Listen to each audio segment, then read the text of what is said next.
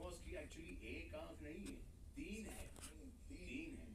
दो आँखें ना आपके चेहरे पे फिट की गई।